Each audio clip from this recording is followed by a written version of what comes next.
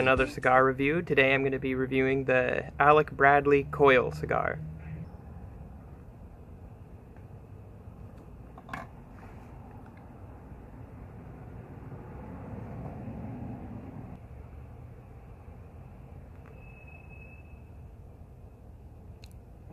There's already some good flavors coming from it.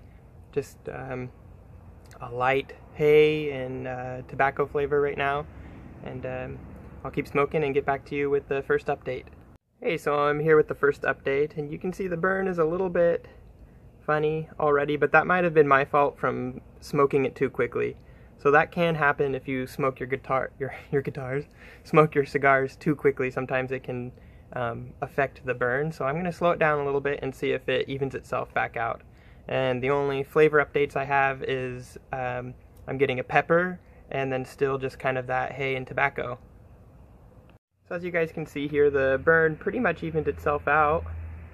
And that was without a touch-up. That was just because I started smoking it a little bit slower. So that is what I would recommend you do first if your burn starts to get uneven, is don't touch it up right away, just keep smoking it, maybe slow it down a little bit, and it should even itself back out. And then the flavors are still the same. I'm still getting the pepper along with the the other flavors, and it hasn't picked up at all. It's just stayed about the same.